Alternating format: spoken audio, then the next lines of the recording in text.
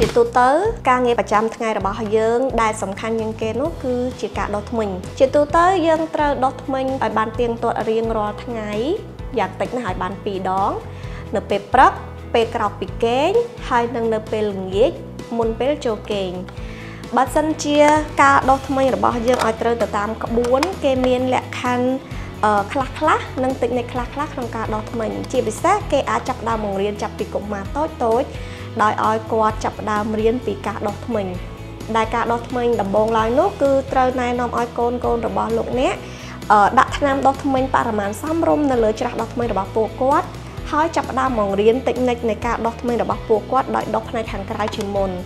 យើងបែងចែកធ្មេញជា3ផ្នែកផ្នែកខាងក្រៅខាងឆ្វេងផ្នែកខាងមុខឬក៏ផ្នែកខាងក្រៅខាងស្ដាំ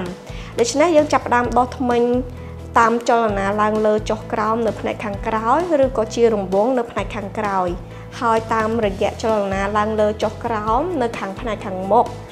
ចឹងយើងអាចដោះពីខាងក្រោយមកមុន ជាចលនារង្វង់ឬក៏ចលនាឡើងលើចុះក្រោមក៏បានដែរប៉ុន្តែក្នុងករណីប្រើកម្លាំងស្រាលស្រាលបើសិនជាក្នុងករណីយើងប្រើកម្លាំងខ្លាំងពេកសាច់អញ្ចាញដែលនៅលើធ្មេញនេះគឺនឹងធ្វើឲ្យមានការដាច់រលាត់ធ្វើឲ្យមានការឈឺចាប់អញ្ចឹងយើងអាចប្រើកម្លាំងស្រាលស្រាលបានក្នុងការដោះធ្មេញបើសិនជាការបង្រៀនកូនកូនរបស់លោកអ្នកគួរតែឲ្យគាត់ចាប់ដើមរាប់ពី1ដល់6ដើម្បីអីនៅពេលដែលគាត់ដោះលឿនពេកគាត់អត់បានសម្អាតបានស្អាតទេអញ្ចឹងយើងអាចឲ្យគាត់ដោះហើយឲ្យគាត់រាប់1 2 3 4 5 6ហើយខាងមុខគឺដូចគ្នាតាមចលនាឡើងលើចុះក្រោម1 2 3 4 5 6 ផ្នែកខាងឆ្វេងក៏ដូចគ្នាដែរគឺដោះជារង្វង់ឬក៏ដោះបែបលក្ខណៈឡើងលើចុះក្រោមដូចគ្នាបន្ទាប់ពីដោះផ្ទៃខាងក្រៅស្អាតហើយ យើងចូលមកដល់ផ្ទៃទំពាផ្ទៃទំពាគឺបែងចែកជា3ផ្នែកដូចគ្នា ផ្នែកទំពាខាងក្រោយខាងផ្នែកធ្មេញផ្គាម